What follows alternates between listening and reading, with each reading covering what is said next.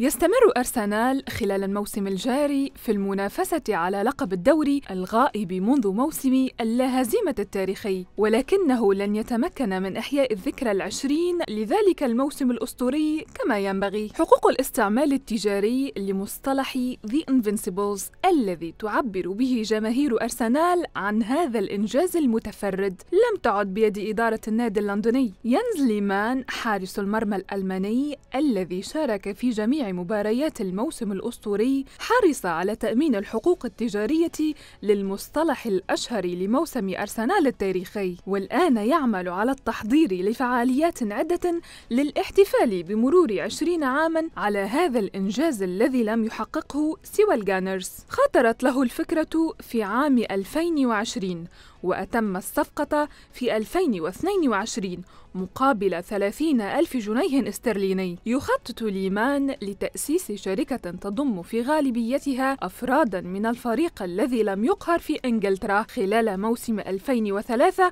و2004 وعلى رأسهم المدير الفني أرسن فينجر. كما يخطط لإقامة مباراة استعراضية لفريق أرسنال 2004 ضد نجوم سابقين لمانشستر يونايتد أو ربما فريق يضم أساطير الدوري الإنجليزي. فعاليات ستكون ممتعة لجماهير أرسنال بالتأكيد لكن النادي الإنجليزي لن يستفيد تجاريا. وعلى الأقل يمكن الاطمئنان أن حقوق استخدام الشعار التاريخي بيد أمينة.